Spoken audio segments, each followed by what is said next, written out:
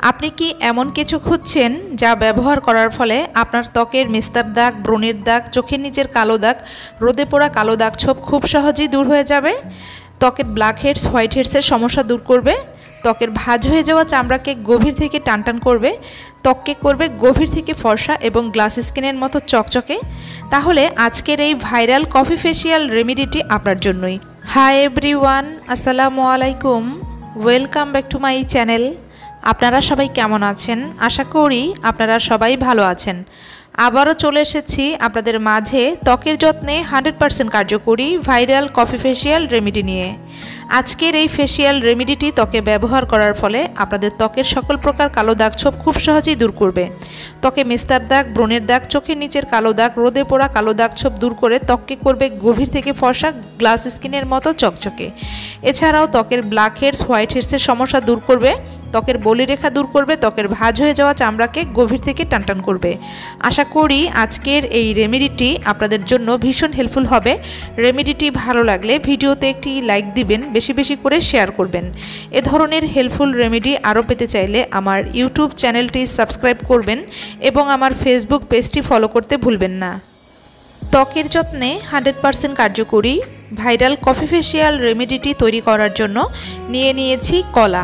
কলা আমাদের ত্বকের জন্য অত্যন্ত কার্যকরী একটি উপাদান। নিয়মিত ত্বকের যত্নে কলা ব্যবহার করার ফলে ত্বকের সকল প্রকার কালো দাগছোপ খুব সহজেই দূর করতে সহায়তা করে। ত্বকের বলিরেখা দূর করে, ত্বকের ভাঁজ হয়ে যাওয়া চামড়াকে গভীর থেকে টানটান করে, ত্বককে করে গভীর থেকে ফসা গ্লাস স্কিনের মতো চকচকে। রেমিডিটি তৈরি করার জন্য ছুরির সাহায্যে একটি কলার অর্ধেকটা পরিমাণ কেটে নিচ্ছি। এই পর্যায়ে একটি কাটা চামচের সাহায্যে কলাটাকে খুব ভালোভাবে ম্যাশ করে নিচ্ছি। ত্বকের যত্নে হান্ড্রেড পারসেন্ট কার্যকরী ভাইরাল কফি ফেসিয়াল রেমিডি তৈরি করে দেখাচ্ছি। এই ফেসিয়াল রেমিডিটি ব্যবহার করার ফলে আপনাদের ত্বকের সকল প্রকার সমস্যা ম্যাজিকের মতো দূর হয়ে যাবে। আমি হান্ড্রেড পারসেন্ট গ্যারান্টি দিয়ে বলছি, তাই অবশ্যই সম্পূর্ণ রেমিডিটি কীভাবে আমি তৈরি করছি আপনারা ভিডিওটি সম্পূর্ণ দেখলেই বুঝতে পারবেন। তো আমি কাটা চামচের সাহায্যে খুব ভালোভাবে কলা ম্যাশ করে নিয়েছি। এই পর্যায়ে নিয়ে নিয়েছি কফি। কফি আমাদের ত্বকের জন্য কতটা উপকারী তা আপনারা সবাই জানেন। নিয়মিত ত্বকের যত্নে কফি ব্যবহার করার ফলে ত্বকের সব ধরনের কালো দাগছোপ দূর করে ত্বককে করে গভীর থেকে ফর্সা গ্লাস স্কিনের মতো চকচকে। তো এখানে আমি এক চামচ পরিমাণ কফি নিয়ে নিচ্ছি। কলার সাথে কফি খুব ভালোভাবে চামচের সাহায্যে মিশিয়ে নিব। এখানে রেমেডিটি আমি যতটুকু পরিমাণ ব্যবহার করছি, এতটুকু রেমেডি আমি আমার ত্বকে শুধু ব্যবহার করতে পারব। আপনারা যদি আপনাদের গলা, ঘাড়, হাতের যত্নে ব্যবহার করতে চান, সেই ক্ষেত্রে প্রতিটি উপাদানের পরিমাণ বাড়িয়ে দিবেন। কলার সাথে কফি পাউডার চামচের সাহায্যে খুব ভালোভাবে মিশিয়ে নিচ্ছি।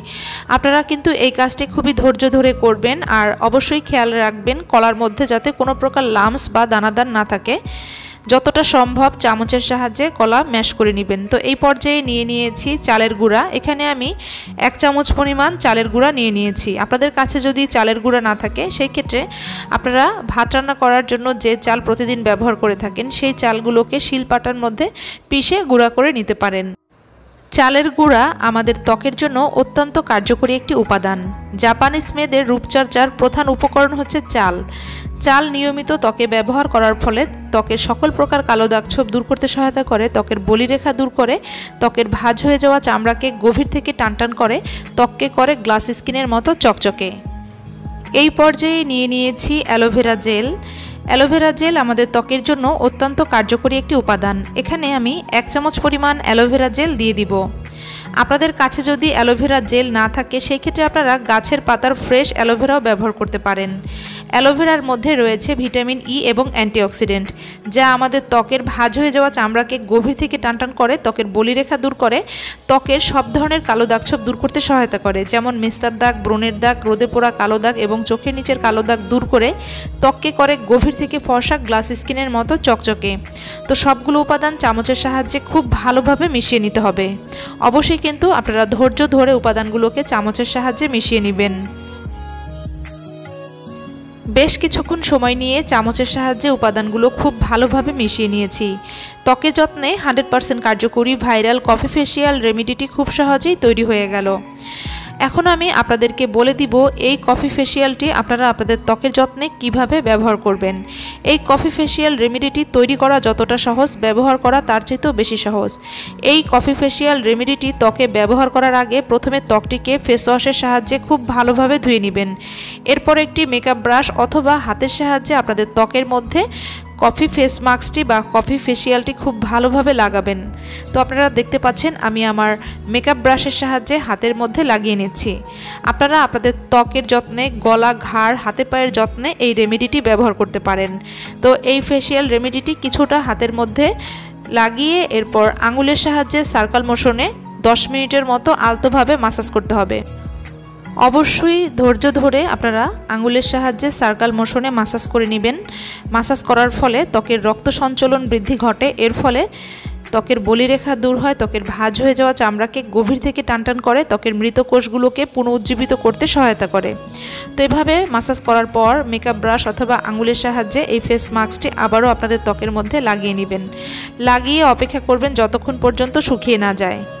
যখন দেখবেন ফেস মাস্কটি শুকিয়ে গেছে, তখন হাতের মধ্যে কিছুটা পানি নিয়ে আলতোভাবে সার্কাল মোশনে আরও পাঁচ মিনিটের মতো মাসাজ করে নেবেন। এরপর নর্মাল পানি দিয়ে ত্বকটিকে ধুয়ে ফেলবেন। এই নিয়ম অনুসারে একবার এই ফেসিয়াল রেমেডিটি ব্যবহার করার ফলে আপনাদের ত্বকের খুব ভালো পরিবর্তন আপনারা লক্ষ্য করবেন। ভালো ফলাফল পেতে এই রেমেডিটি সপ্তাহে তিন দিন আপনাদের ত্বকের যত্নে ব্যবহার করবেন। নিয়মিত ত্বকের যত্নে এই ফেসিয়াল রেমেডিটি ব্যবহার করার ফলে আপনাদের ত্বকের এতটা পরিবর্তন ঘটবে যে আপনারা অবাক হয়ে যাবেন এবং আপনাদের মন খুশিতে ভরে উঠবে। আশা করি আজকের এই ফেসিয়াল রেমেডিটি আপনাদের জন্য ভীষণ হেল্পফুল হবে। রেমেডিটি ভালো লাগলে ভিডিওতে একটি লাইক দিবেন, বেশি বেশি করে শেয়ার করবেন। তো আজ আর নয়, এখানে বিদায় নিচ্ছি। আবারও হাজির হব নতুন কোনো রেমেডি নিয়ে আপনাদের মাঝে। সে পর্যন্ত সবাই ভালো থাকবেন, সুস্থ থাকবেন। আল্লাহ হাফেজ, আসসালামু আলাইকুম।